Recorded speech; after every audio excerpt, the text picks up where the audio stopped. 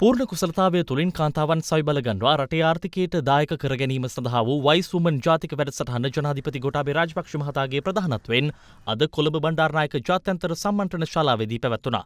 කාන්තාවන් සඳහා නිපුණතා සංවර්ධන සහ වෘත්තීය පුහුණුව ලබා දී රටේ ආර්ථිකයට දායද කර ගැනීම මෙම වැඩසටහනේ අරමුණයි.